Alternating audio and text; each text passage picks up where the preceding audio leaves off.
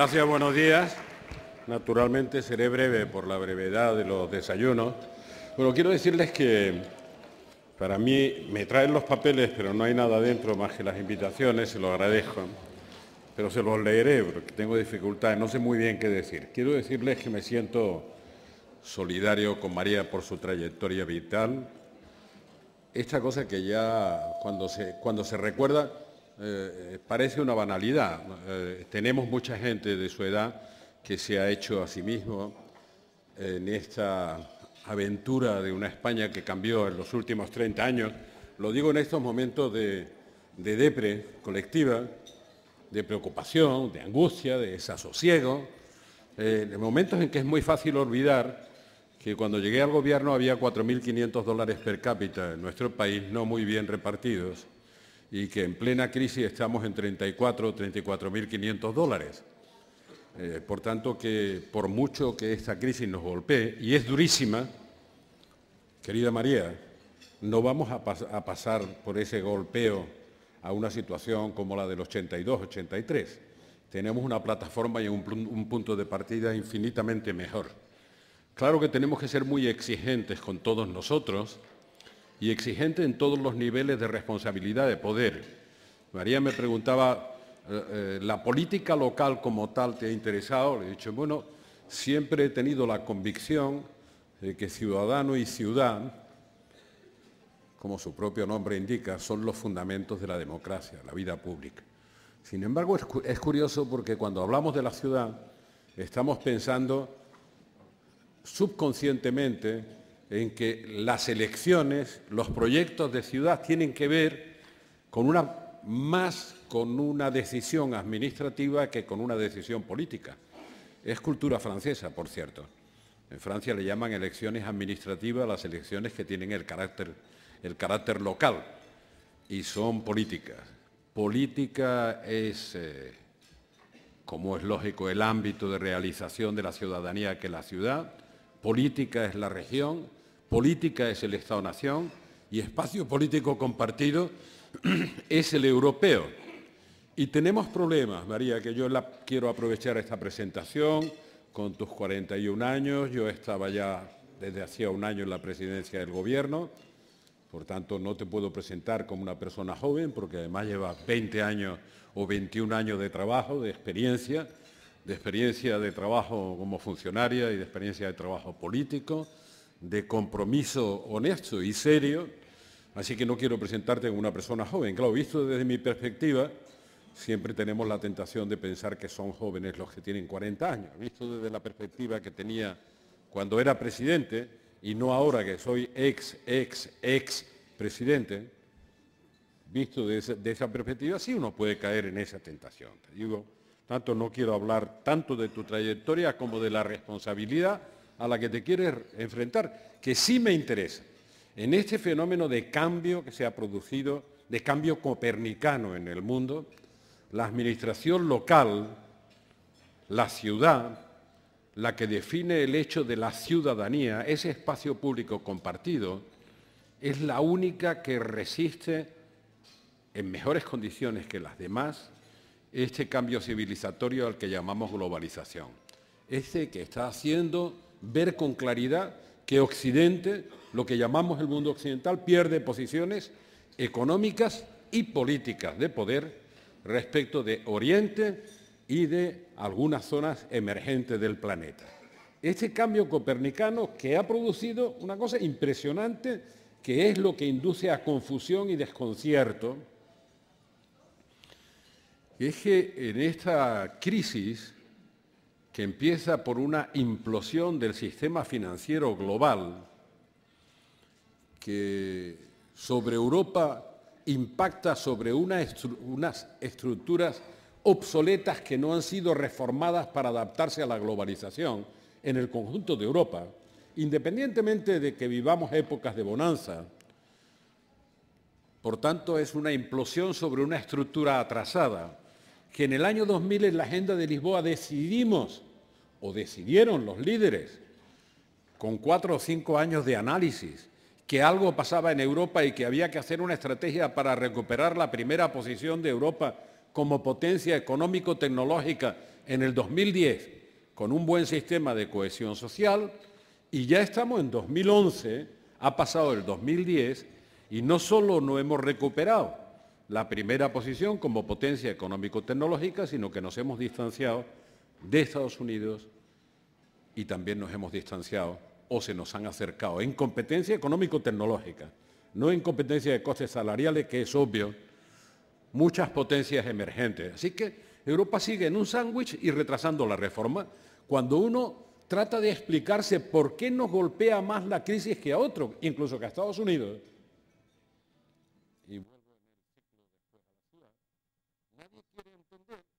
esas malditas reformas necesarias se deberían haber hecho hace más de 10 años y ahora la crisis lo único que ha hecho, la implosión del sistema financiero, lo único que ha hecho es poner de manifiesto ese retraso, esa obsolescencia en nuestras estructuras. ¿Podríamos decir que son 10 años perdidos? Si fueran de aprendizaje, no. Porque podríamos recuperar, activando todos los poderes de Europa. Y la ciudad tiene una ventaja. La ciudad, lo local, conecta con lo global. Es más fácil conectar desde lo local con lo global, aprovechando tu experiencia en innovación, en emprendimiento, por la revolución tecnológica, que conectar con lo global desde el poder estatal, desde el poder central. Esta es la gran virtualidad de lo local. Lo local da identidad y permite una proyección global, universal. La ciudad, por tanto, resiste al cambio civilizatorio, aquí y en todas partes.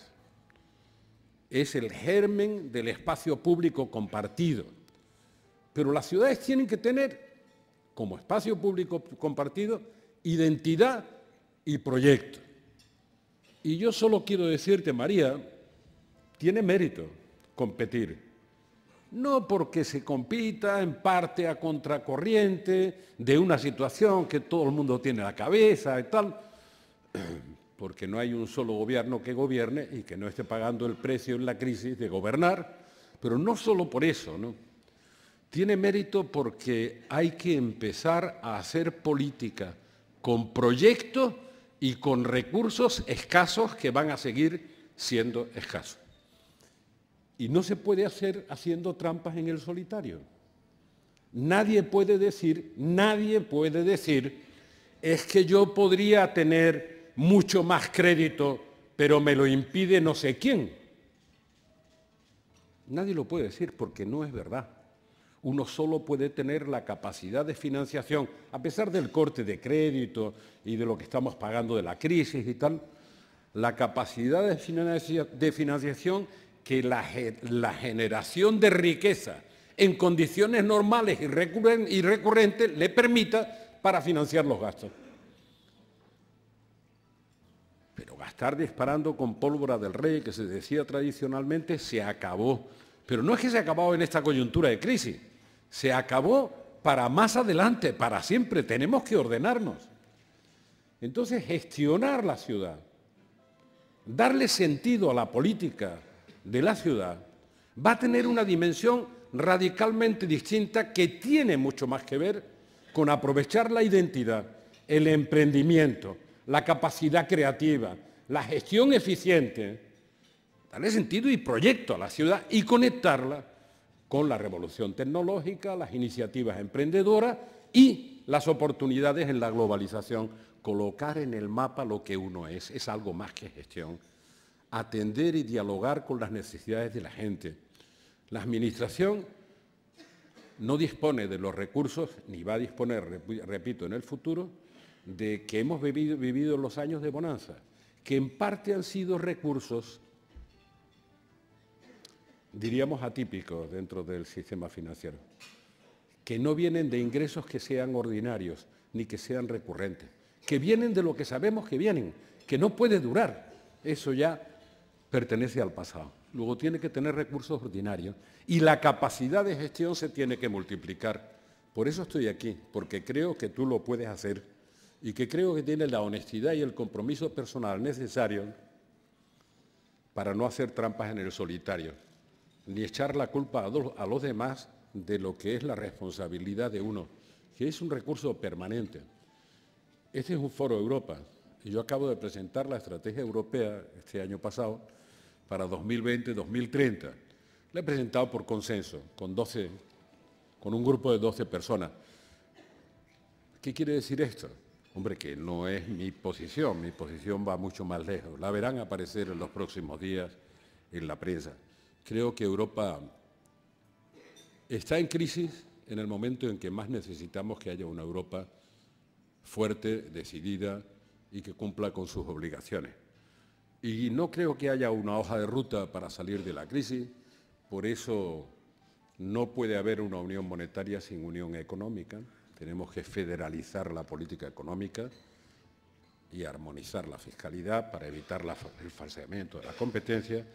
Y tenemos que federalizar la política exterior y hablar con una sola voz en Europa, de lo local al europeo, pasando por la región, la autonomía y el gobierno.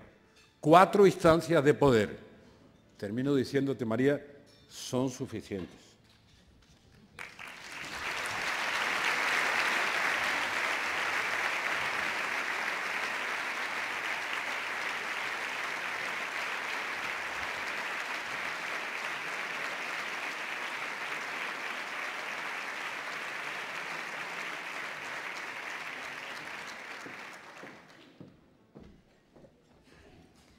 Muy buenos días.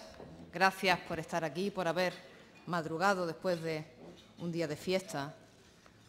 Gracias de verdad por acompañarme en esta mañana, que como ustedes pueden imaginar no es del todo fácil. Una persona a la que quiero mucho y que me quiere mucho a mí, me dijo, María, ¿estás segura de que quieres hablar después de Felipe? Mira que es un reto difícil. Yo le dije, mira, hablar siempre es bueno, y por supuesto tener el lujo y la compañía de Felipe es una cuestión y una ocasión que no puedo desaprovechar. Felipe es una persona extraordinariamente generosa y comprometida con sus ideas y con lo que esto representa. Así que por eso no puedo más que sentirme afortunada. Gracias, Felipe, por acompañarme. Y lo segundo que le dije es que el reto verdaderamente importante es ganar las elecciones del próximo mes de mayo. Ese sí que es un reto importante al que yo me afrento. Hablar después de Felipe si acaso es una osadía, pero yo no me considero una persona osada. Valiente sí, porque creo además que Málaga necesita personas valientes. En esta coyuntura de crisis, aún más. He titulado mi conferencia Mi idea de Málaga, haciendo también alusión a la idea de Europa de Felipe, y he querido con ella condensar en estas cuatro palabras muchas cosas.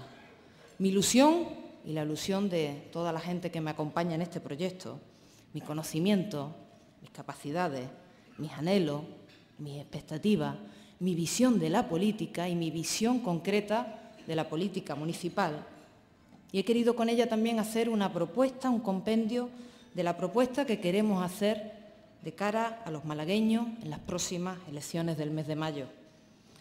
He sido elegida por mi partido para hacer y liderar esta propuesta y por ello quiero agradecer a mis compañeros y compañeras que me hayan elegido para esta tarea tan importante, máxime cuando ellos saben que yo no soy una persona de larga trayectoria orgánica en el partido, yo no soy una mujer de aparato, pero lo que sí claramente soy es una mujer socialista, una mujer de ideas progresistas. Y por esa visión progresista quiero daros mi visión de la política, mi visión de lo que Málaga necesita y mi visión del trabajo que queremos hacer en el gobierno de la ciudad de Málaga. Y me permitiréis que empiece por una reflexión previa que creo que es imprescindible sobre el sentido de la política y el valor que tiene en el mundo actual, globalizado, en plena crisis. Sé que para la inmensa mayoría de los ciudadanos, de los que no militan en partido, de los que no tienen responsabilidades políticas, hablar de política se hace cada vez más complicado. Cada vez les resulta a la gente más difícil escuchar nuestras propuestas y mucho más creernos.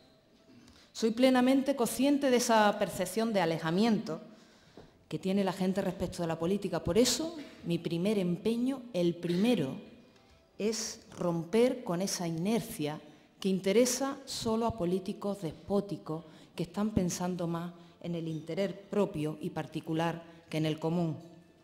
Mi obligación primera es hacer que me escuchéis, porque tengo una idea útil de lo que, de cómo podemos afrontar los problemas a los que se enfrenta nuestra sociedad.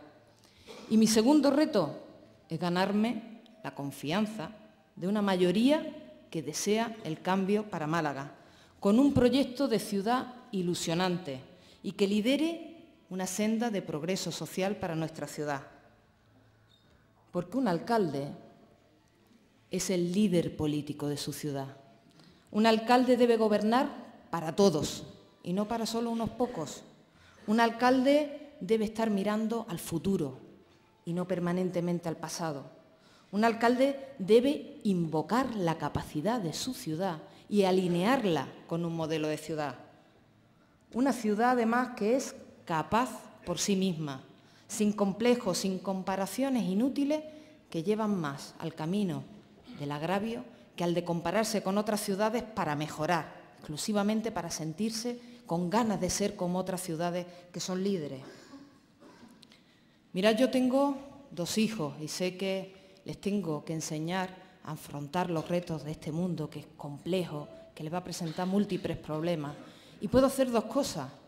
Puedo acrecentar en ello el sentimiento de que la culpa la tiene otro, o puedo decirle a mis hijos que empiecen a pensar por sí mismos, que sepan afrontar los problemas con sentido de la responsabilidad y sin tener que acudir a echarle la culpa a los demás.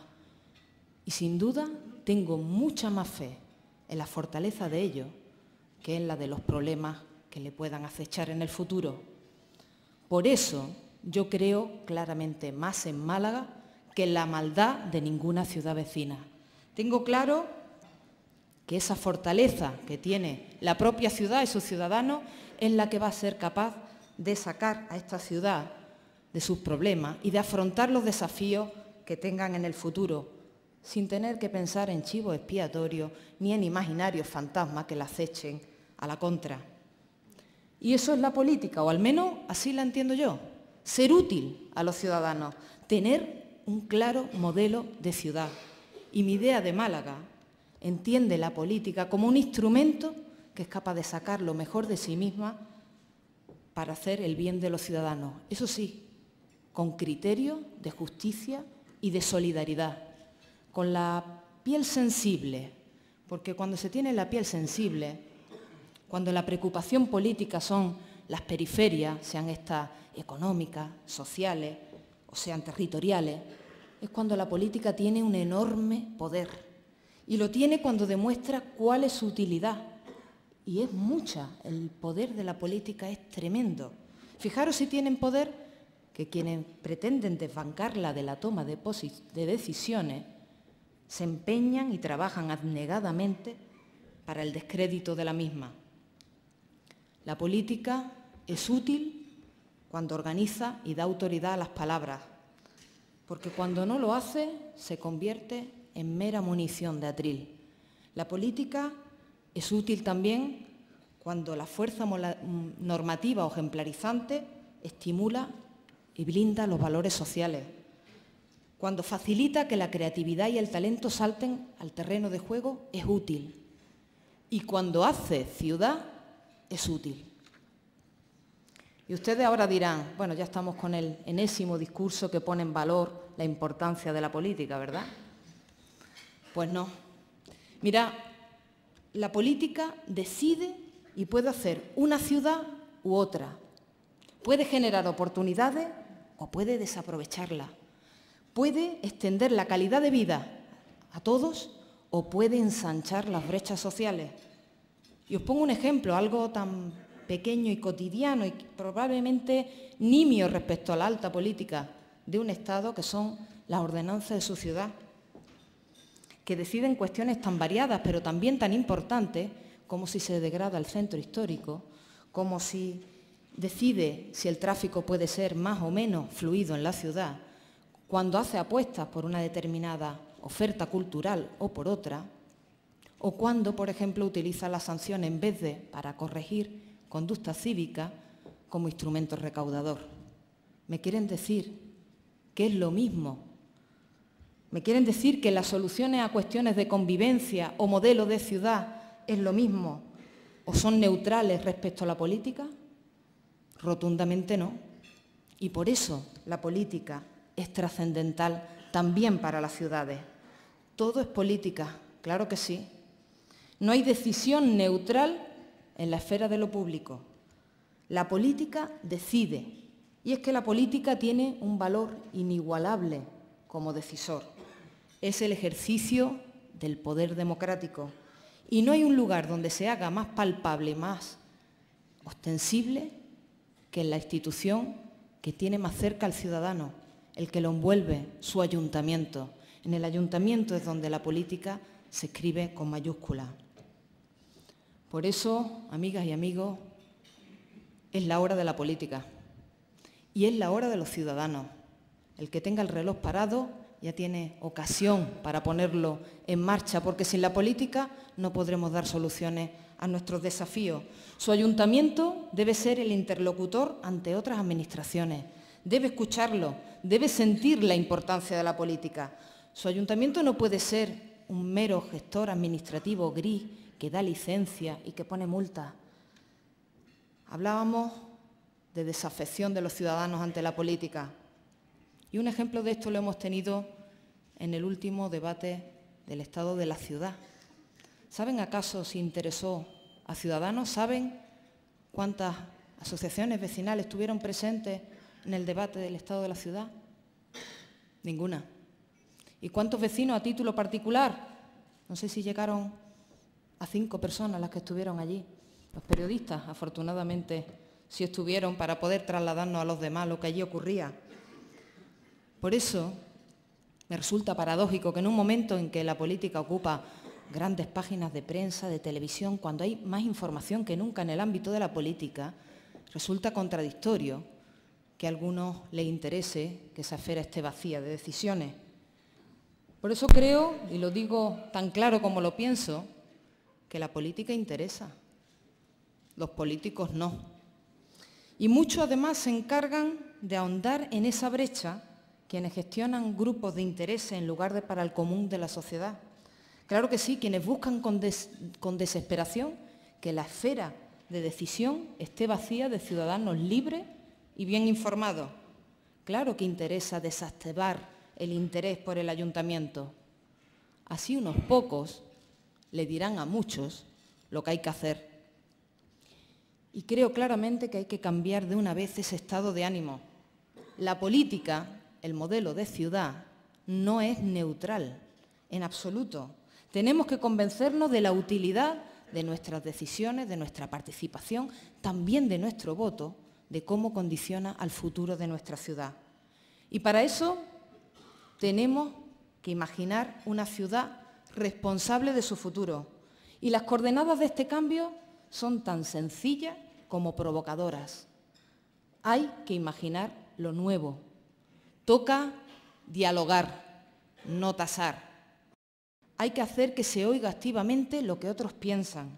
Hay que generar complicidad con los malagueños para construir la Málaga líder de los próximos años y que nadie dude que en este proceso, y por eso se nota que vengo de innovación, toca innovar, toca hacer política creativa y para empezar toca afrontar el problema más grave que tenemos en este momento en nuestra sociedad.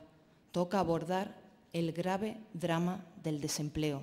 Y para ello no vale con que nos zafemos y digamos que le corresponde a otras instituciones.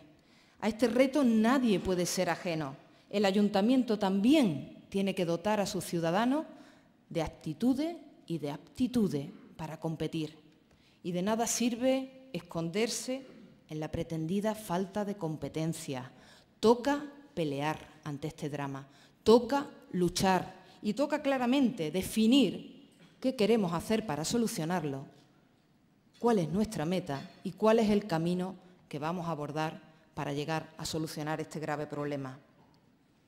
Pero para seguir haciendo propuestas sobre esta ciudad, a mí me interesaría un pequeño receso en el que yo quiero hablar del diagnóstico de esta ciudad, para después, a continuación, hablar de mi idea de Málaga. Un buen diagnóstico de la ciudad para mí se resume en que entre el año 2000 y 2010 esta ha sido una ciudad de grandes oportunidades perdidas. En el ámbito de las infraestructuras, tanto la Junta como el, Estado de la Nación han completado numerosos elementos, redes, nodos de transporte que han generado tremendas oportunidades para Málaga, mientras que el urbanismo de la derecha ha favorecido un modelo de crecimiento insostenible. Málaga es una ciudad dispersa, poco inclusiva, que no educa en términos de identidad, de convivencia cívica y urbanidad. No está administrada con inteligencia porque presta mal los servicios a la ciudadanía y la ciudad está desvertebrada, dejando al clima, al carácter de su gente o a sus recursos naturales casi como únicas señas de identidad. El modelo de Málaga de hoy es el de una ciudad poco sostenible. Lo demuestran su endeudamiento, el paro y la falta de cohesión social. Por eso digo que es poco sostenible. Una ciudad que no se puede comparar con las de su rango, porque ha mantenido una política general dedicada más a favorecer las reglas del mercado inmobiliario desaforado, lo que no ha generado ni mejor calidad de vida ni para los ciudadanos, ni tampoco para dar respuesta a las necesidades de sus propios empresarios aunque sí para unos pocos que se han dedicado a crear riqueza para sí mismos y no para el bien común. Una ciudad que tiene graves deficiencias en los servicios básicos como en limpieza, en centros sociales, en transporte, en guardería, con una concepción del urbanismo desde el ayuntamiento que desde el año 99 ha empobrecido a la ciudad mediante ventas y subastas de patrimonio ha encarecido el suelo y ha expulsado a los más jóvenes a vivir, a buscar vivienda en la periferia. Málaga vive, sin duda, en una grave desaceleración económica que se ha manifestado en todos los sectores, pero principalmente en los servicios y la construcción, sectores estos que están más que obligados a renovarse. Y me consta además que muchos de los empresarios de este sector ya están reinventándose y sin duda habría que ayudarlos aún más a esa reinvención de la que ya nadie puede escapar. En estos años Málaga ha seguido un modelo desarrollista basado en más ocupación de suelo y más infraestructura destinada al uso del automóvil. Se podría resumir en más parking que parques, más plazas para estacionar que viviendas para vivir y más necesidad aún de equipamiento de los que corresponden a un crecimiento en términos de construcción.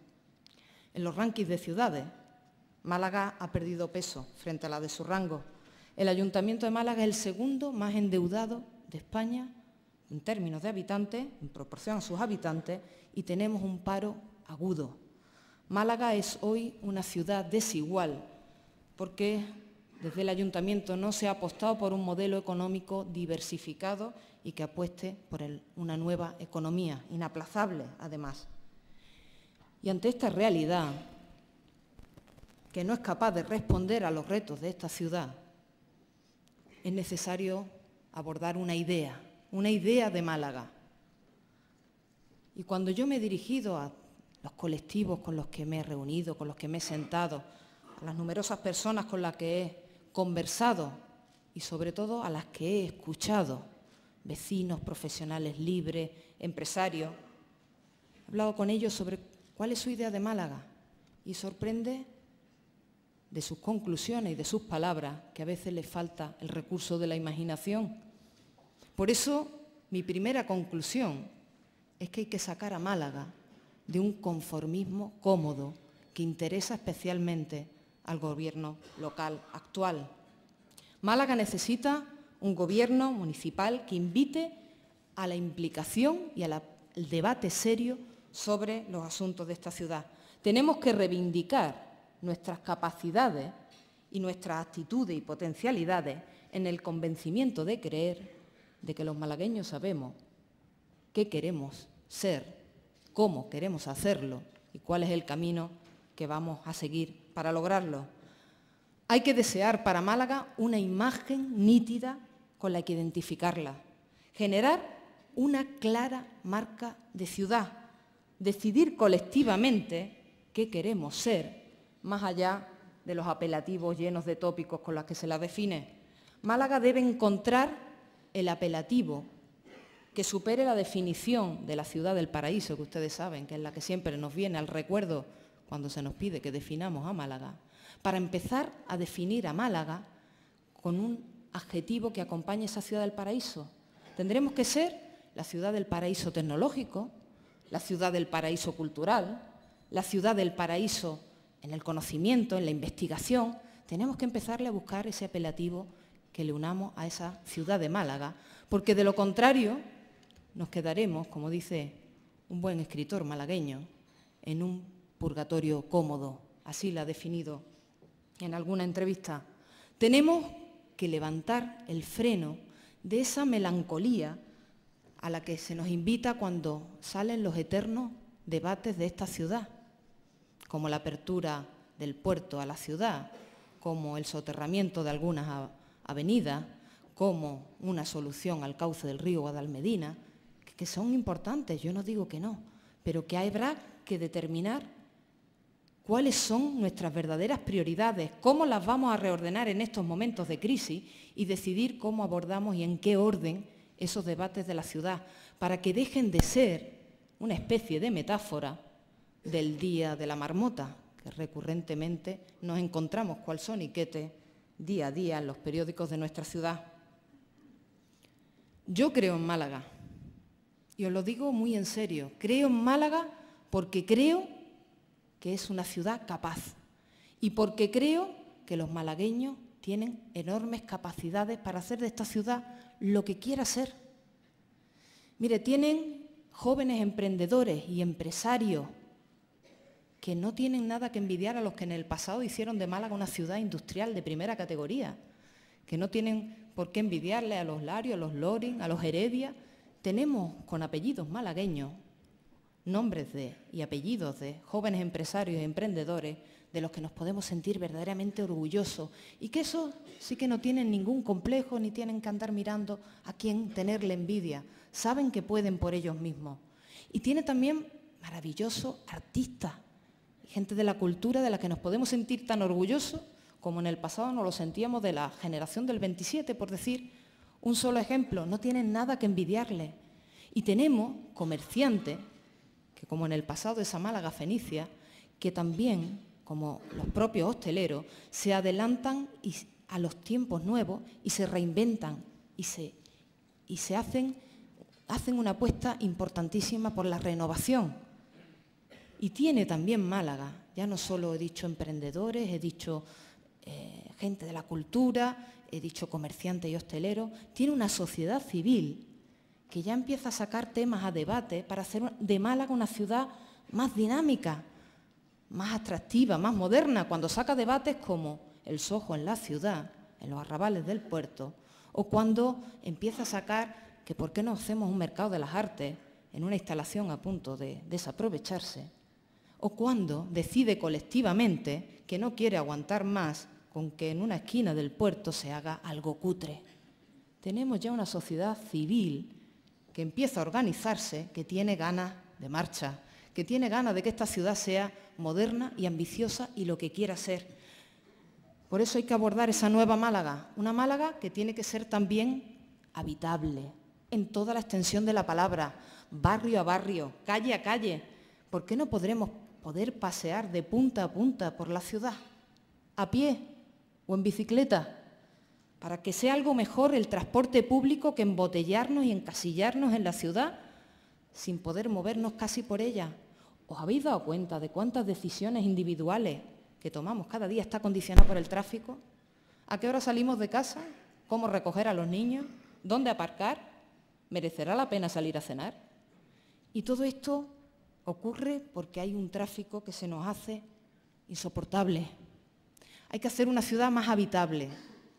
y una ciudad pensada también en las mujeres, en el papel y en la, toma de decisiones que hace la mujer en la ciudad, en el papel también demasiado importante todavía como madre al principio y como hija después, cuando no, al mismo tiempo se tiene que ocupar de hijos y de padres.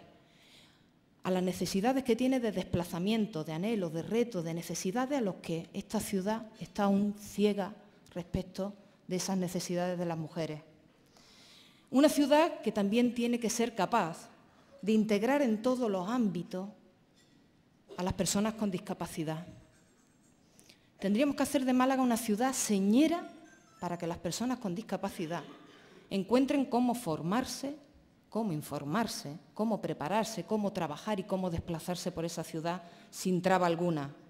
Una ciudad también que tiene que ofrecer ocio y posibilidades también, ¿por qué no?, de contribuir a formar esta sociedad, a los mayores, a que tengan lugares en todos los distritos donde reunirse con sus iguales y a aprovechar todavía las grandes capacidades cada día más de la, de la población que envejece, de seguir aportando a nuestra sociedad su experiencia y su conocimiento.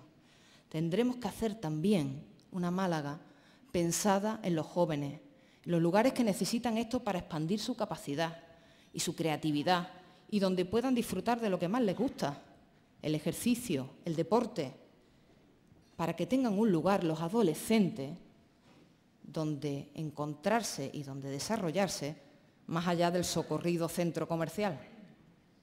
Tenemos que hacer una ciudad también bella, porque Málaga siempre ha sido bella y debe tener un embellecimiento que parte de una condición imprescindible primera, que es estar limpia, para cuya tarea la implicación municipal tiene que ser decidida y definitiva y después tendremos que contar con la implicación ciudadana también. Tendremos que hacer una ciudad y un ayuntamiento que sean facilitadores de las personas que necesitan la ayuda del ayuntamiento para una licencia. ¿Por qué no? Tenemos que conseguir que el ayuntamiento le responda con celeridad, que le responda de manera digital, ¿por qué no? Si tenemos las mejores tecnologías y ahí están en el parque tecnológico, y que también le atienda de una manera humana y no despersonalizada. Málaga tiene que aprovechar las enormes potencialidades que tiene de estar bien comunicada, como envidiaría ninguna otra ciudad de España o de Europa.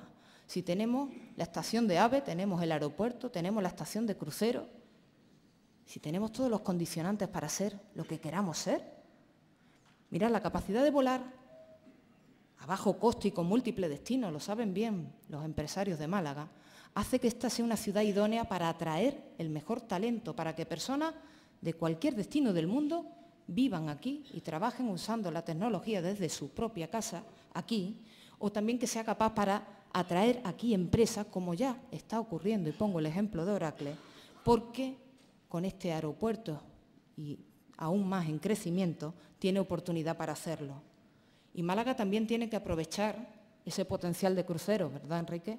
De esos miles de cruceristas que llegan a nuestra ciudad y a los que tendremos que atender para que no deambulen simplemente por la ciudad, sino que encuentren todas las posibilidades de servicio, de oferta que les permita aprovechar su estancia y su visita por Málaga. Y tiene, para aprovechar a esos turistas, que embellecer y que cuidar la cara B de la señera, pero no única, Calle para que el que venga aquí se encuentre con una ciudad completa y no solo con una fachada. Por eso pienso que con todos estos condicionantes de Málaga, Málaga tiene que salirse del mapa. Málaga tiene que aprovechar su posición y su enclave geográfico para ser de verdad la capital de la Costa del Sol, que así nos habían dicho que era, la capital de la metrópoli. Málaga tendrá que aprovechar que es una verdadera potencia económica para Andalucía. Y Málaga tendrá que aprovechar y por fin coger la vara del liderazgo de ser un referente internacional en temas tan propios como podrían ser de Málaga, como la paz, la tolerancia, la interculturalidad, en los que Málaga tiene tanto que decir, sino para que Pablo Picasso pintó esa paloma, sino para representar que Málaga podría tener mucho que decir en asuntos como la paz y desarrollarla, como digo, internacionalmente, porque estamos cerca de África y estamos en una posición estratégica en el Mediterráneo. Y también tenemos que aprovechar y sacarle más jugo a la participación en los asuntos de la ciudad y provocar ciudadanía activa. Participación de verdad, real, en las cuestiones pequeñas y en las grandes, y en aquellos asuntos también donde Málaga ha competido y donde por desgracia no hemos conseguido pasar el corte y en lo que la participación tenía mucho, mucho que ver. Tenemos que buscar además como aliada fundamental, Adelaida, a la Universidad de Málaga. Tenemos que apoyar desde el ayuntamiento de la ciudad a que esta universidad sea capaz de atraer más talento, retener el talento propio y aprovechar que es nuestra mejor industria. La universidad es la que nos puede facilitar la mejor industria, que es la industria del conocimiento. La Universidad de Laida tiene que estar en el inicio, en el camino y en el final del debate de la ciudad y participar plenamente de ella. Debemos buscar un modelo competitivo de la mano de la universidad en base a la tecnología, donde somos fuertes en la investigación, en la creatividad, en la cultura, en la sostenibilidad. Debemos pensar en la Málaga de dentro de 20 años para ir asumiendo esos grandes retos de futuro y una imagen de marca que solo el tiempo podrá ir consolidando. Y debemos, amigos y amigas, hacer más ciudad en toda la ciudad. Me estoy refiriendo a la mejora de barrios, a la limpieza y a la dotación de pequeña infraestructura de carácter social y ciudadano. La atención a esas pequeñas cosas que el ciudadano viene reclamando, que requieren además poco esfuerzo y presupuesto, pero que hacen que la ciudadanía se identifique por fin con la ciudad en la que vive y con la que debe implicarse. En definitiva, el ayuntamiento debe parecerse más a sus ciudadanos y permitidme que os diga que somos más y mejor ciudad cuando sumamos. Hay ayuntamientos que apuestan por el proteccionismo, por el agravio, y a mí no me van a encontrar ahí. Si algo nos va desbrozando el sendero de la crisis es que las jugadas individuales ya no nos conducen al éxito. Deberíamos aprender que o vamos de la mano o vamos al fracaso. Por lo tanto, yo voy a reivindicar desde el primer momento diálogo y acuerdo. Esta ciudad tiene mucho por hacer. Debemos ser la ciudad que atraiga y retenga el talento, como ya dije antes. Debemos ser esa ciudad que piense en su futuro, que piense qué quiere ser de mayor. Debe pensar en el futuro, pero a la vez trabajar desde el presente, porque al futuro se llega trabajando desde el presente. Y esa realidad hoy, desde el gobierno local, no está atendida. Algunos explican la ciudad bajo cifra, bajo número, con la supuesta asepsia de una tabla de Excel. Para mí, la ciudad y la política no se hace con número y con cifras, se hace con palabras, con valores y con ideología. Con ideología, claro que sí, esa es que te sustenta ante el fracaso y esa que te emociona cuando consigues el éxito. Esa que no se lleva nada bien ni con la frialdad de la cifra ni con la frialdad del gesto. Esa ideología que debe renovar todo político para darte la energía y la capacidad que cualquier alcalde necesita para transformar de verdad su ciudad. Por eso, por ideología, mi idea de Málaga es una ciudad liderada por un ayuntamiento consciente de que tiene que inventariar valores a proteger. Hay valores en juego, hay valores en peligro de extinción que han sido baleados ideológicamente desde diferentes posiciones, como el Estado social, como la cohesión social. Por eso mi idea de Málaga es la de una ciudad consciente de que la cohesión social es un valor económico, que el tipo de sociedad es un valor económico y que el modelo de sociedad afecta a indicadores económicos. El modelo social genera seguridad o no, elimina incertidumbres o no. Y entonces es cuando podemos construir confianza que se traduce en competitividad y en productividad, el compromiso de defender valores como la equidad, la igualdad, la solidaridad y la diversidad es un reto del presente que contribuye a constituir y a construir sociedades más competitivas, más eficientes y más fuertes, donde la capacidad creativa del talento no está limitada a las capacidades económicas de las personas. Mi día de Málaga es la de una ciudad gobernada con honestidad y con transparencia, mirando a los ojos de la gente, conscientes de que quien la dirige debe ser el primero en predicar con el ejemplo. Mi idea de Málaga es la de una ciudad con una agenda social de políticas públicas potentes que se construye para dar respuesta a las desigualdades sociales de fondo, declinando las invitaciones a definirla en base a titulares y estados mediáticos de opinión pública. Mi idea de Málaga es la de una ciudad descentralizada, diez ayuntamientos en una sola ciudad. Mi proyecto, como verán, no está moldeado por ladrillo. Mi proyecto lo hacen las personas. Todo lo que hace un ayuntamiento es para sus ciudadanos y podemos hacer real y eficaz la descentralización. Mi idea de Málaga, amigos y amigas, es que debe ser una ciudad abierta, con un gobierno abierto, superando la falta de participación y la carencia de formas deliberativas de democracia municipal para la gobernanza compartida. Mi idea de Málaga se puede resumir de muchas maneras, pero quizá no atienda a esa pregunta que tantas veces, sobre todo periodistas, me hacen. ¿Cuál es la idea central de tu programa, María? ¿Cuál es la idea original?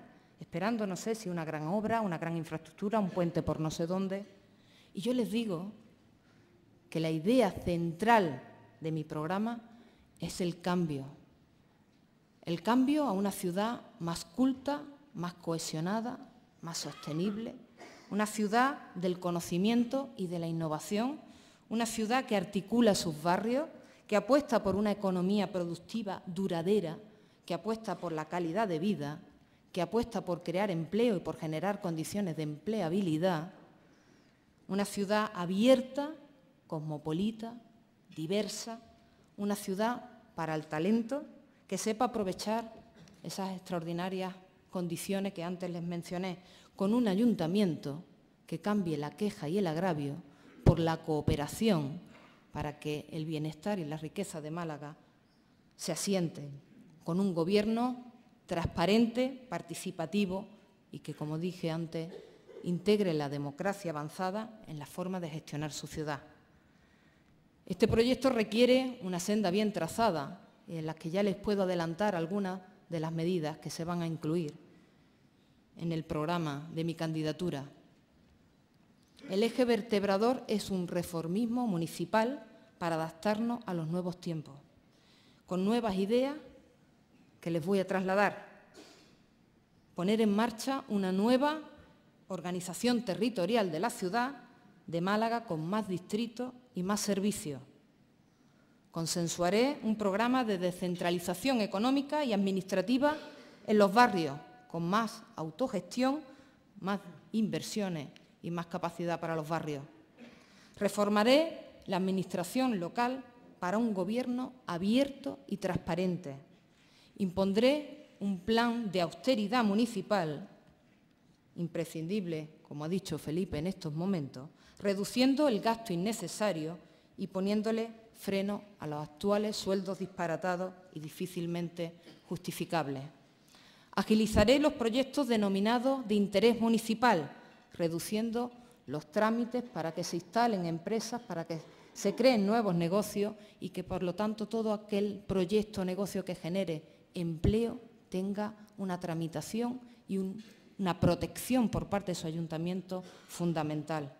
Crearé un área de promoción económica como una herramienta estratégica en la lucha contra el paro.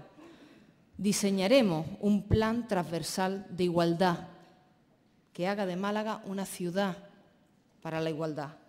Pondremos en marcha con urgencia planes de limpieza integral, sobre todo en los barrios, que resuelvan definitivamente este problema que ya pasa a ser casi histórico. Pondremos en marcha también rehabilitación del parque de vivienda con un programa ambicioso que va a crear más empleo, una ciudad más habitable, más calidad de vida y también reducción de la factura energética. Ofertaremos un programa verde de uso de energías alternativas y de respeto al medio ambiente. Rediseñaremos la movilidad urbana a favor del transporte público y un impulso decidido y de verdad a los carriles bici.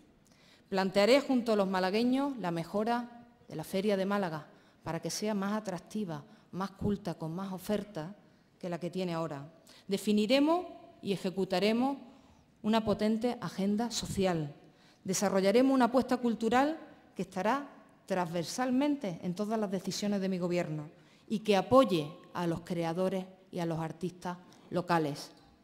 Impulsaré el Gobierno del área metropolitana. Articularemos un programa participado para la conservación del patrimonio de esta ciudad, que es mucho y que no debe degradarse.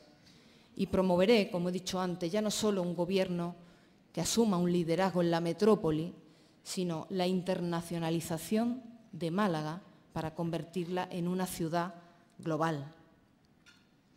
Esta es, amigos y amigas, y estoy llegando al final, mi idea de Málaga. Después de un análisis que os he querido trasladar de manera muy resumida, pero también con un profundo conocimiento de la situación y con un profundo deseo de formular las ilusiones, los deseos de progreso para mi ciudad y para los malagueños. Espero conseguir lo que hoy he querido simbolizar con la presencia de Felipe aquí. Por eso era tan importante que Felipe me acompañara hoy aquí. Felipe ha sido quien logró la transformación de España cuando más lo necesitaba.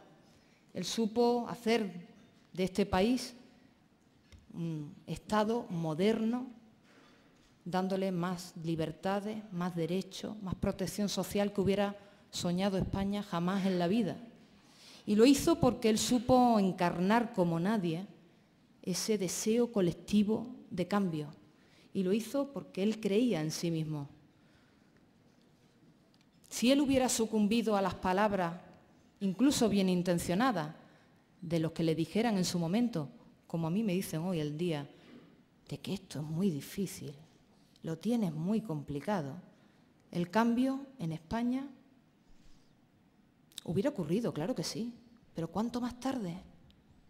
¿Con cuántas generaciones perdidas? ¿Con cuántas oportunidades perdidas? Yo no sé con cuántas generaciones perdidas que se hubieran quedado sin aprovechar esa reforma del Estado que él planteó, pero sin duda una se hubiera quedado fuera de esa transformación. Felipe, sin tu apoyo y tu protección social y tu, política de becas públicas, esta que hoy está aquí y que ustedes oyen, hoy no estaba aquí. Por eso, Felipe, te quiero agradecer lo que has hecho por este país y sigues haciendo desde tu verbo, desde tu palabra. Y quiero decirte que yo misma, como tantos otros que se dedican a lo público, te, estamos profundamente agradecidos. Nos dedicamos a esta tarea tan incomprendida de lo público y de la política. Y sin embargo tú nos has dado la energía y nos la sigues dando para que sigamos afrontando retos tan complejos como al que yo me enfrento ahora, pero sin miedo, con ganas, con valentía. Y quiero también que sepas, Felipe, para terminar, que ese mismo coraje que tú tuviste es el veneno que yo llevo inoculado dentro. Espero que tenga sobre esta ciudad el mismo efecto que tú conseguiste para España. Muchas gracias.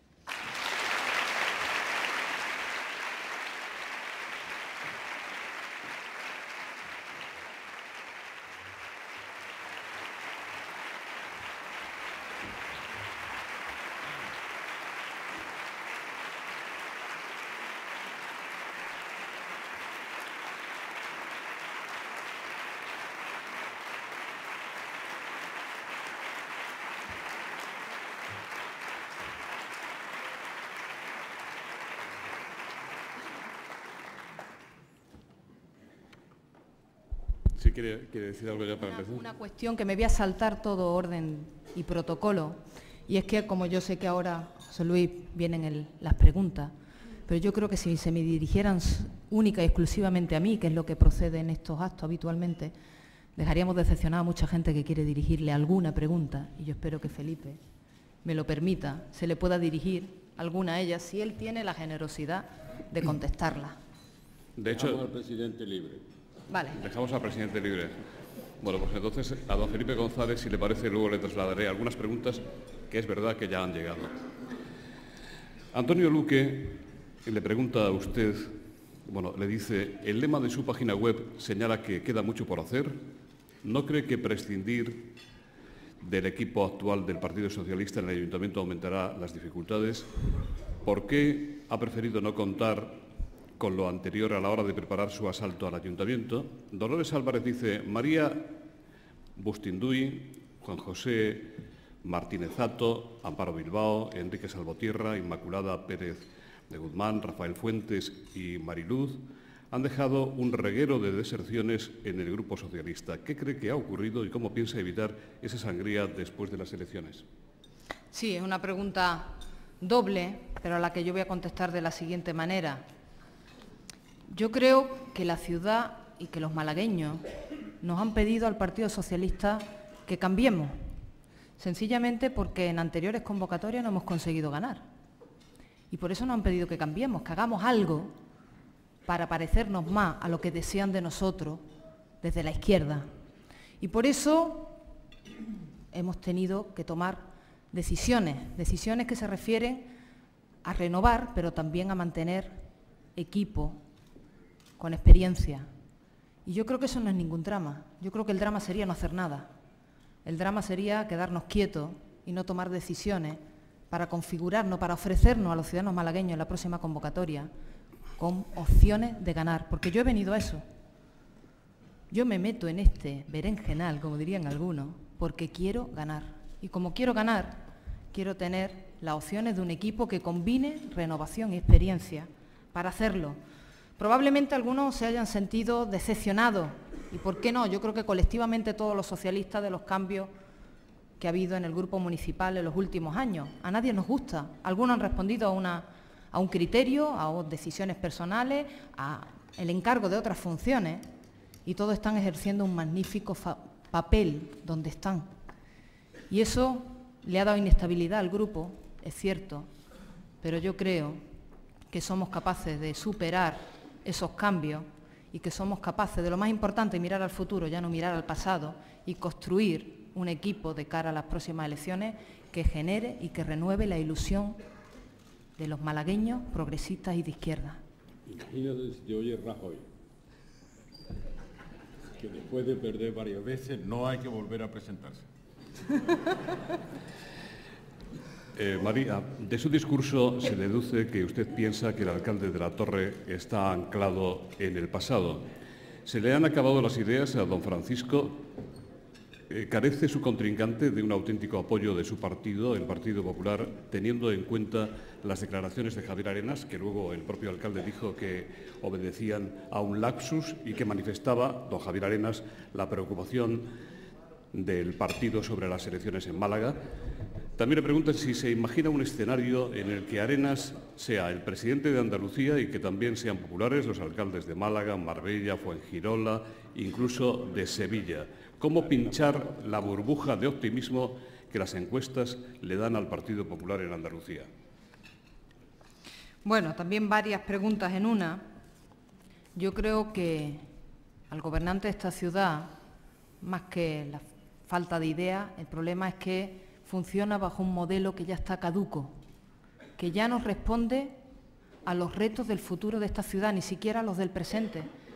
Yo creo que ha hecho, sin duda, lo mejor que ha podido y con la mejor intención, pero creo que no ha pensado en la necesidad de esta ciudad ni sobre todo en las que le sobrevienen en estos momentos tan complejos en una sociedad que ha cambiado tremendamente, que no podemos estar construyendo la misma ciudad que hace 20 años, basada en el mismo consumo de suelo, en el mismo diseño del urbanismo, ni pensando en que no hay retos tan importantes como el envejecimiento de la población, las nuevas formas de vida de los ciudadanos, de los jóvenes que necesitan salir de casa y vivir ya no en la periferia, sino en su propia ciudad, ni al reto que tienen tantos hombres y mujeres que no encuentran instalaciones para guardería, para esas nuevas formas de convivencia a las que esta ciudad no está dando respuesta. Yo creo que el problema principal es tener un modelo caduco y equivocado que no responde a las necesidades de esta ciudad. Y me decía también, eh, con la pregunta, si, cree que el, escenario de que gobernara el Partido Popular en todos sitios, me decía Felipe ahora, aquí al oído, dice que Arena no ha perdido nunca, ¿verdad? Eh, hacía un buen apunte Felipe porque yo no me imagino ningún escenario. Yo trabajo sobre el escenario de que en Málaga hay una mayoría de izquierda que está deseando que se gobierne la ciudad bajo esos valores. Y con esa filosofía y con ese, con ese lema yo voy a estar trabajando. Antonio Herrera, de Comisiones Obreras de Málaga, dice qué mensaje y qué propuestas desde la Administración local les hará a los pensionistas que ven congeladas sus pensiones, a los parados y paradas de larga duración que llevan perdida su prestación, cómo corregir el modelo de crecimiento insostenible cuando el PEGOU, recientemente aprobado, hipoteca el futuro de la ciudad y no es compatible con el segundo plan estratégico de Málaga.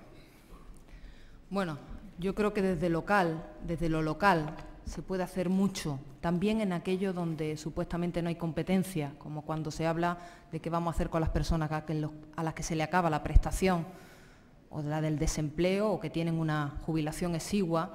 Y creo que aunque no sea una competencia local, también se puede contribuir a generar mejor ciudad y cuando se le fija uno en ellos puede disponer de un transporte con unos precios más asequibles para aquellos grupos de riesgo o en dificultades económicas. Desde lo local, claro que se puede contribuir creando más infraestructura y más equipamiento que haga que no necesiten sacar de su propio bolsillo todos los recursos para tener satisfacción a sus necesidades. En cuanto a, la cuestión del plan general que hipoteca el futuro de la ciudad, yo les diré que este plan general se ajusta a la legalidad y por eso la Junta de Andalucía lo ha refrendado o está en los últimos momentos para refrendarlo pero desde luego no representa mi modelo de ciudad. Lógicamente no vamos, si los malagueños y malagueñas quieren que así gobernemos, no vamos a poner todo patas arriba, sería absurdo, estamos en un momento delicado, decía Felipe también hace un rato, en tiempos de crisis no es bueno para mudanza. Yo creo que lo que habrá que hacer las modificaciones pertinentes para generar eh, dentro de ese plan general esas ideas de futuro que tenemos para Málaga, para generar más espacios libres, esponjar la ciudad, crearle desahogo, para fomentar un sistema de transporte público como el que mencionó en mis palabras. Con este plan general haremos lo mejor para que se ajuste a esa idea de Málaga y fomentaremos que los empresarios y las empresarias tengan opciones y mejoren los espacios productivos que tanto vienen reclamándose en esta ciudad. Tenemos que convertir los polígonos industriales en los nuevos parques tecnológicos. Ya no es hora de, soportar modelos que están tan desfasados y que se parecen a los polos industriales de, hace tantísimas décadas. Y por eso creo que con un plan general que no es acertado, porque responde a un modelo de ciudad que no es el que yo comparto, tendremos que hacer esfuerzos para readaptarlo y para sacar lo mejor de él, como digo, con las ideas, con las propuestas que yo menciono en mi discurso. Lourdes Sotomayor dice, en el Ayuntamiento de Málaga hay divergencias con la Junta de Andalucía en torno al metro, al campamento Benítez y más recientemente a cuenta del Teatro Romano. De ser elegida, ¿mantendrá usted la defensa de los intereses malagueños en contra de la Junta o se someterá a, a los dictados del Gobierno regional? ¿Por qué no ha empezado ya, como representante de la Junta, a limar asperezas? ¿O es le dice Lourdes Sotomayor que usted está pensando realmente en dimitir como delegado de la Junta en las próximas semanas. Francisco Manzano, en relación también con algunos de esos proyectos, dice, ¿es compatible una fuerte inversión para poner en marcha esos proyectos y su mantenimiento con la falta de espacios verdes en los barrios de la ciudad? Bueno, Yo contestaré que defender los intereses de Málaga también se hace desde la Junta de Andalucía. No son incompatibles, no solo no lo son, sino que el interés de la Junta de Andalucía ha sido siempre el de beneficiar a esta ciudad. Y si no, que me expliquen por qué invertimos y nos dejamos el pellejo en un metro para la ciudad de Málaga, en un puerto, en la esquina, el Palmeral de la Sorpresa, o por qué hacemos una inversión como nunca se ha hecho en esta ciudad por la Universidad de Málaga en el campus de Teatino. Cuando intentan colocarme la diferencia entre pelear por Málaga, pero desde la Junta no se lucha por Málaga, me parece que la premisa está equivocada, pero desde el principio. Y por lo tanto yo creo que se puede defender a Málaga sin tener que entrar en conflicto con ninguna administración. Aquí se ha entendido que para defender o darse golpes en el pecho había que pelearse con todas las instituciones, porque así uno era más malagueño que nadie. Y yo creo que no, que uno es malagueño cuando defiende y reclama lo mejor y el máximo para su ciudad, claro que sí. Y cuando haya algún conflicto de futuro, no les quepa duda que yo voy a defender a la ciudad por encima de todo, pero con la inteligencia de ser capaz de cerrar alguna vez acuerdos. Y que cuando se cierren acuerdos, que se respeten. Porque yo aprendí de mano de mi madre el dicho ese popular que tanto hemos escuchado que dos no se pelean si uno no quiere, ¿no? A mí me sacó eso de grandes apuros porque no me peleaba con nadie, pues yo no quería pelearme con nadie nunca. Pero cuando llego a esta ciudad y ejerzo mi papel en la política, me doy cuenta que ese dicho ya no vale para nada. Que es imposible que aunque yo no quiera, me encuentro con conflictos por el mero hecho de representar a una institución que tiene distinto color al del ayuntamiento. Y yo no quiero que eso pase más. Yo no quiero que se utilice el agravio y la pugna entre instituciones como arma arrojadiza, porque al final quien pierde es la ciudad. Es la ciudad la que sale perdiendo de todos esos debates y por eso se eternizan. El campamento Benítez, que ahora le damos un pasito para adelante y otra vez tendremos un pasito para atrás. Y yo creo que se puede gobernar y hacer buena ciudad y defender lo mejor para Málaga sin tener que permanentemente recurrir a tan rancios planteamientos. Seguramente me he dejado sin contestar algo, pero... Antonio Fuentes, de la Federación Civilis, dice cuál es su compromiso de integración en su proyecto político de movimiento vecinal. Y María Gámez, pasando a otro tema, dice qué propuestas en materia sanitaria, hospitales, atención primaria, etcétera, tiene en su programa para la ciudad de Málaga. La propuesta respecto a los vecinos es escucharlos y escucharlos de verdad. De nada valen unos supuestos presupuestos participativos o programas participativos en los distritos si después las inversiones que se hacen no se corresponden a lo que pidieron o incluso se hacen cosas que no habían pedido los vecinos o cuando ocurre todo lo contrario, lo que vienen demandando durante 15 años no se hace. Entonces yo creo que lo que hay que poner de moda es la participación de verdad y los vecinos forman parte ineludible de mi forma de entender la política. Yo entiendo la política pisando asfalto y no pisando alfombra y por eso entiendo que estar en la calle no solo saludar y darle la mano a 500 personas con las que te encuentres, sino oyéndolas, especialmente oyéndolas y atendiendo a sus demandas y sus prioridades. Hemos puesto una experiencia ya en esta campaña de talleres de futuro, una experiencia participativa con grupos en torno a 40 personas, ya hemos hecho más de 15 talleres, en los que he podido oír a los vecinos y a las vecinas, y no se creen ustedes que dicen que desean, ¿qué les digo? Por ejemplo, una solución al río Guadalmedina. No, ¿Sabéis lo que dicen los vecinos?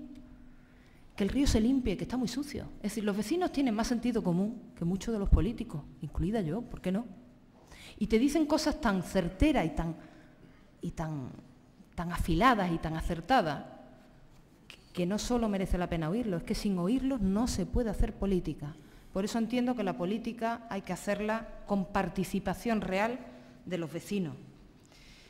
Y cuando hablaba también de demanda sanitaria, que cuál es mi idea sobre las necesidades sanitarias de esta ciudad, yo les diré que teníamos y tenemos un precioso proyecto de un gran hospital para esta ciudad, que ponga además solución a esa dispersión, me oyen los sanitarios, que tienen los centros sanitarios actuales del Hospital Carlos Haya, que lo hace ineficiente. No son momentos para ineficiencias económicas. También lo he dicho antes Felipe y lo corroboro. No es momento para que lo económico no lo juguemos. Tenemos que hacer un gran hospital que supere esa dispersión actual y que además incorpore investigación, como además lo va a incorporar con ese instituto de investigación.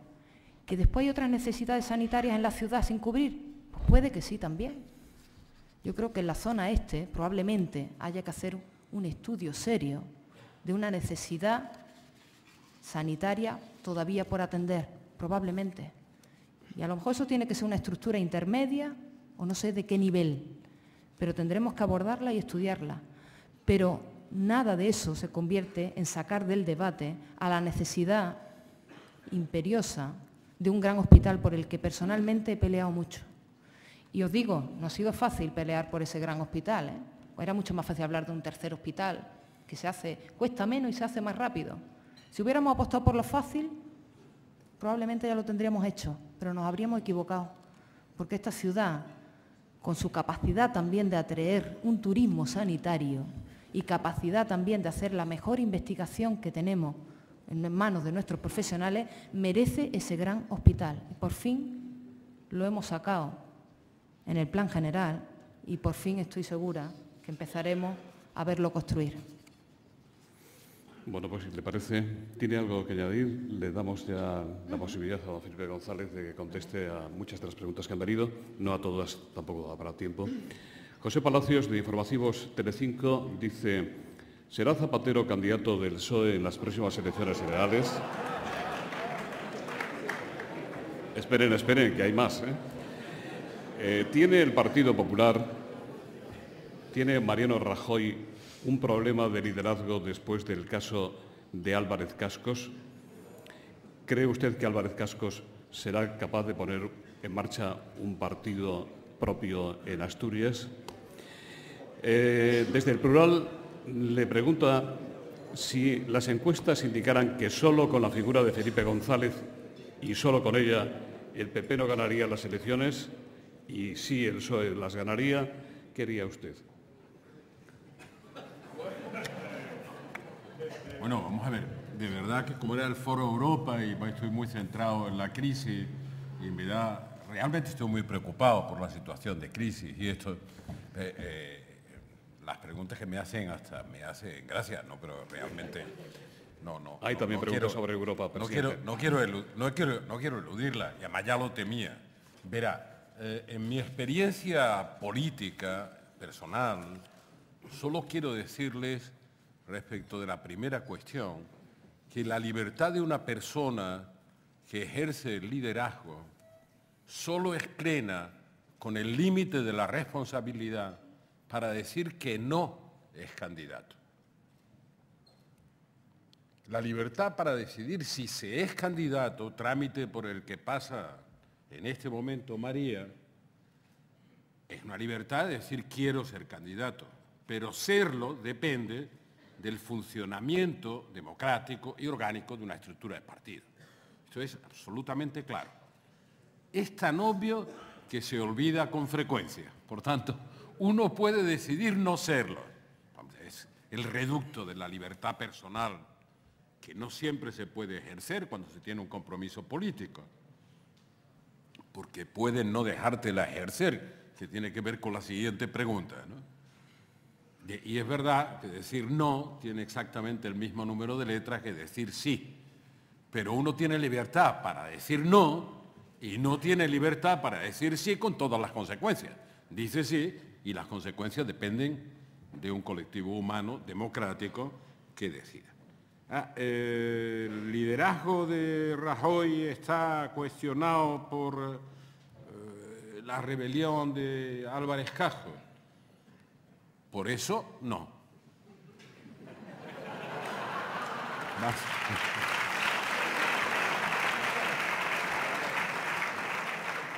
¿Va a ser un partido político? No lo sé. Eh, voy a decir con respeto para Álvarez Cajos que esa decisión me parece políticamente irrelevante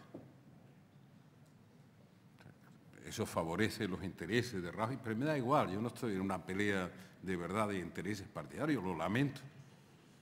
No, nada que ver.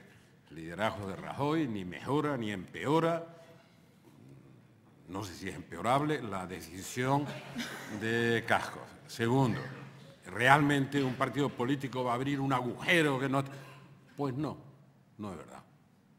Por tanto, y la última que era, era también de lo mismo. ¿no? Ah, si yo las encuestas, no sé cuánto y tal, me remito a la primera, la libertad para decir, decidir algo, la propia vida de uno, es decidir que no. Yo decidí que no con 54 años, con 54 años.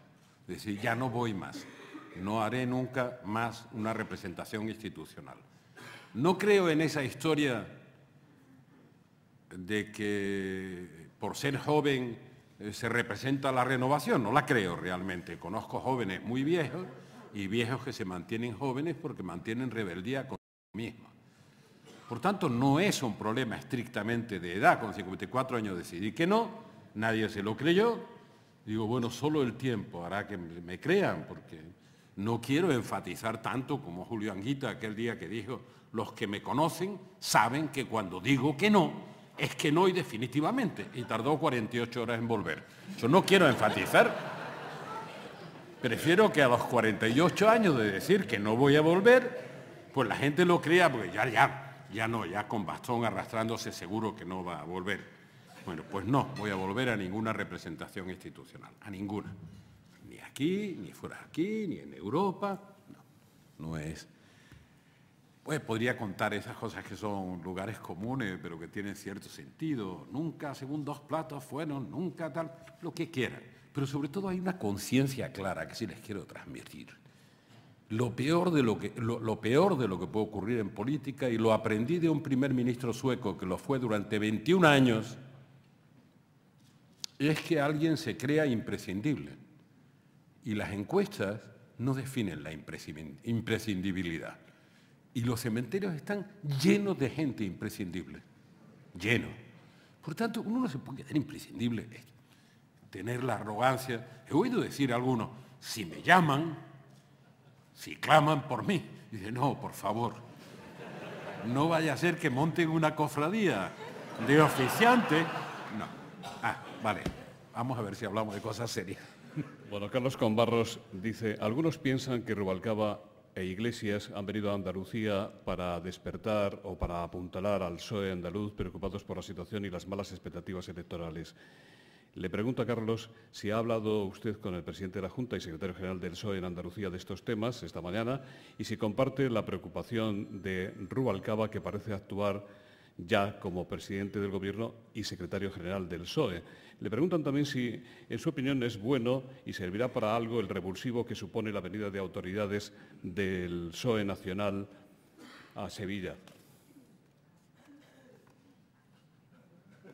Es extraño, verá, estamos, estamos viviendo una situación política muy rara, ¿no? Esto de la venida de los dirigentes nacionales. Yo soy sevillano de nación, tengo muchas, em, en el sentido cervantino del término, tengo muchas simpatías por Cádiz. Mi madre es de Huelva como toda su familia y respeto el espíritu emprendedor, la iniciativa y el coraje de los malagueños. Y bueno, ¿y qué? Y, además soy, eh, digamos, ciudadano, iba a decir ciudadano de España, de España, de Europa y del mundo. Y me resulta ridículo y cateto que diga, pero ¿cómo vienen los dirigentes nacionales aquí o allí? Pero ¿dónde van a ir? Si son nacionales, pues a su nación. ¿Dónde van a ir? Cuando salí del gobierno, lo explico al estilo nuestro, ¿verdad? De esta tierra, porque se me va a entender mejor. Cuando salí del gobierno, sonaron todas las campanas del mundo, porque quien me sustituyó hizo como presidente del gobierno una visita oficial al País Vasco. No le cuento los detalles, vayan a las hemerotecas y se divertirán recordándolo ahora que ha pasado tiempo. Bueno, todo el mundo aplaudió, todo el mundo, por fin, por fin. Ya era hora que en democracia un presidente del gobierno hiciera una visita oficial. Bueno, me machacaron. Y yo de broma le decía a algunos amigos periodistas, pero ¿por qué voy a ir oficialmente a una autonomía? ¿Por qué tengo que oficializar una visita como presidente del gobierno al presidente del gobierno de Andalucía? Pero qué broma es esta, que el jefe del Estado vaya con un ministro de jornada, de jornada a visitar el territorio, me parece normal. Pero el presidente del gobierno no puede ir, lo digo en serio, ¿eh? porque si no nos tomamos en serio España, no puede ir en visita oficial a su propio país. Es una broma. Bueno, pues nada, exaltaron esa broma fruto de la banalidad y de la ignorancia de la que todavía no salimos. Y dije, bueno, ya verán cómo es la primera y la última. Efectivamente, hasta hoy nunca más nadie hizo una visita oficial, siendo presidente del gobierno, a ninguna autonomía. Por favor, comprendamos esto. Ah, me preguntan los dirigentes, Rubalcaba y Iglesia, me imagino que será Marcelino, no va a hacer que no haya confusiones, vienen a Andalucía, hacen esto, hacen los otros. Bueno, pues sí, las desgracias se reparten equitativamente entre todas las fuerzas políticas. Hoy tienen por aquí a Esteban González Pons, o sea que tampoco pasa nada. Pero alguien puede reprochar esto. No, tomémonos en serio, de verdad. Con este espíritu más bien festivo de Reyes, tomémonos en, en serio la política. Los dirigentes irán donde crean que tienen que ir. La desgracia sería que no fueran. Que sienten que hay más necesidad en Andalucía. Pues a lo mejor cuando vayan a Asturias van a decir lo mismo. La amenaza de cascos, bueno, que la reconquista empieza otra vez. En fin, no, hay que, hay que situar las cosas, de verdad hay que situarlas en serio. Eh, y los dirigentes políticos... Rubalcaba es eh, un todoterreno de la política. ¿eh? Todoterreno que lo mismo va por un camino rural que por una autopista y circula bien. yo lo he tenido en mi gobierno, como hemos tenido al presidente Griñán. Y bueno, hemos trabajado los conozco muy bien. Es que está ejerciendo bueno, ahora Rubalcaba no se va a poder mover para salir al exterior. Cuando estaba María Teresa Fernández de la Vega visitando África, América Latina, Oriente Medio, Asia como vicepresidenta, a nadie se le ocurría decir, está, estamos banalizando demasiado, por favor. Y este sale una vez dice, claro, está sustituyendo ya al presidente del gobierno que hace de reina madre. todos los años hacía 20 visitas al exterior en representación del gobierno, la vicepresidenta. Y nunca se hizo ese comentario. ¿Tiene alguna carga intencional? Pues me temo que sí. Por tanto, de verdad, recuperemos la sensatez. ¿no? Estos no son los problemas de nuestro país, eh, de verdad, de verdad. Le preguntan eh, también desde el país, Fernando Pérez, si comparte el expediente abierto a Antonio Asunción tras la polémica de las primarias en el Partido Socialista la Es que no lo conozco. Voy a ir pronto a Valencia, pero no conozco el expediente. Me imagino que si se ha abierto un expediente es porque tiene las bases eh, para abrirlo. Lo que he visto es el reflejo que ha habido en la prensa, no lo he seguido. he visto el reflejo que ha habido en la prensa, incluso he oído directamente decir Antonio Asunción, eh, yo no soy candidato porque ha habido pucherazo, que son palabras mayores, ¿no? hay menos costumbre en este partido ¿no? de aceptar ese tipo de procedimientos. Es verdad que quien pierde en una contienda pues, se siente herido y de, y de muchas de esas heridas ha habido, por eso hablaba antes de la pregunta de Álvarez Cajo, ha habido multitud de reacciones de estas, de partidos, partiditos locales, independientes, no sé qué. Independiente quiere decir que solo dependen de sí mismos no depende ni de los ciudadanos, como los consejeros independientes de las grandes compañías, ¿no? Son independientes porque dependen solo del presidente que los nombra. Ese tipo de cosas. Vamos a ver. Yo no soy partidario de esa desagregación, pero no tengo datos para saber. Lo que sí tengo es la seguridad de que si se siente injustamente tratado por el expediente, tiene vía de recurso. Sin embargo, creo que ha optado por un recurso a los tribunales. Me parece bien, está en su mano hacerlo.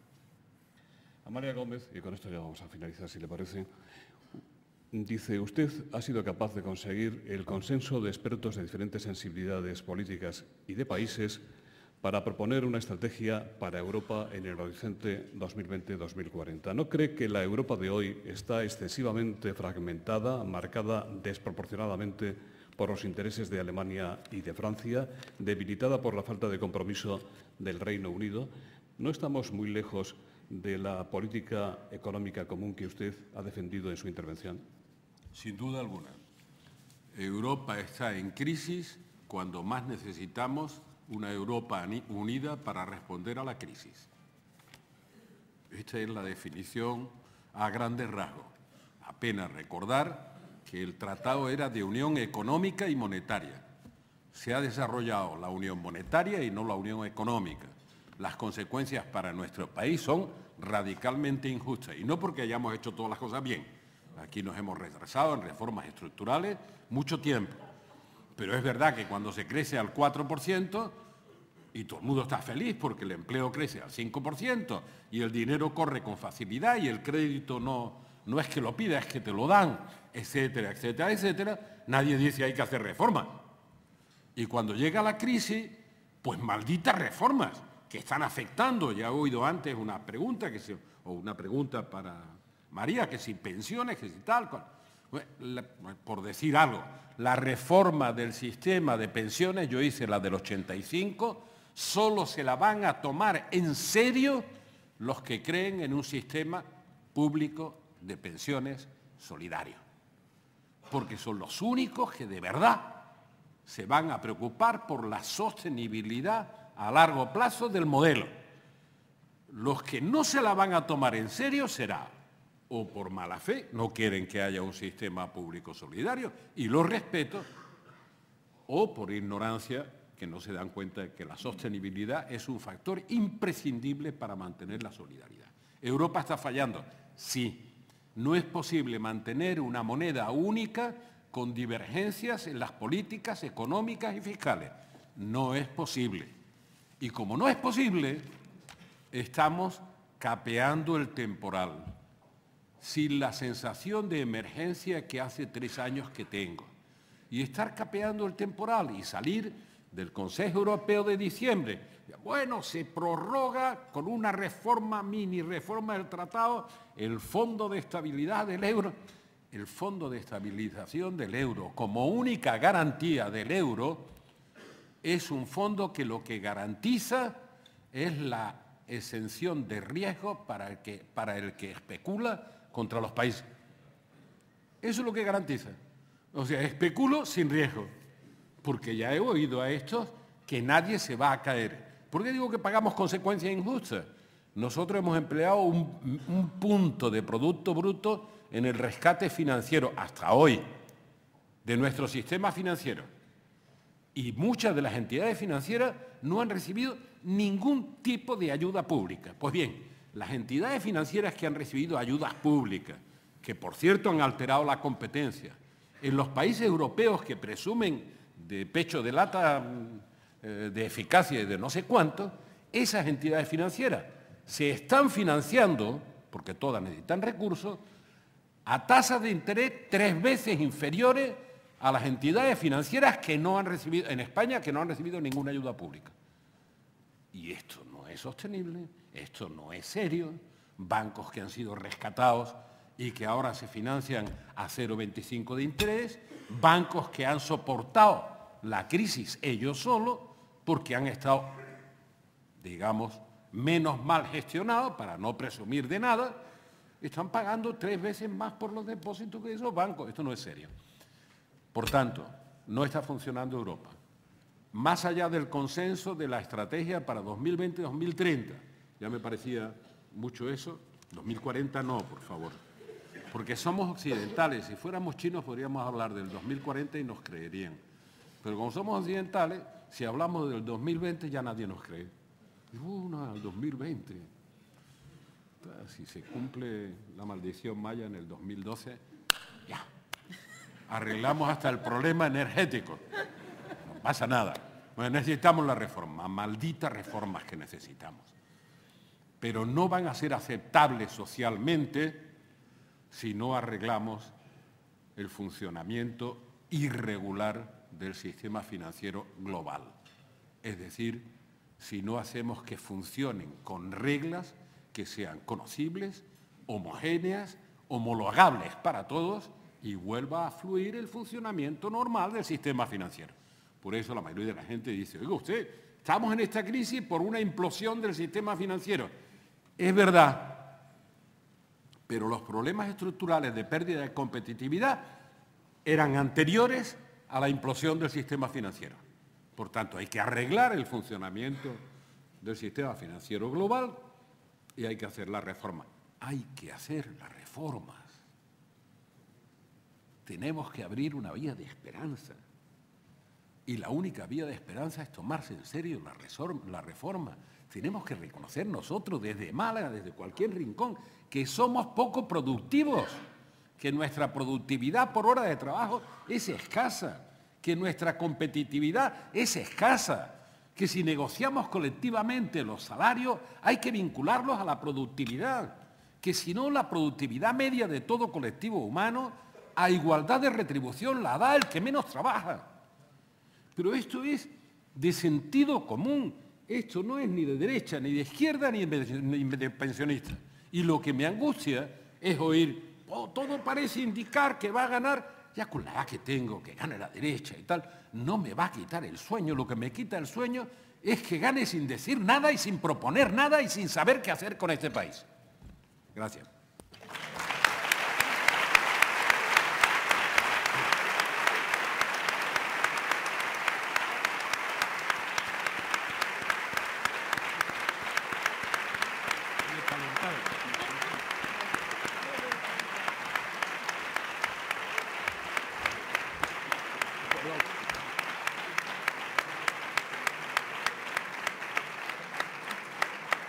María, ¿algo más muy breve que decir?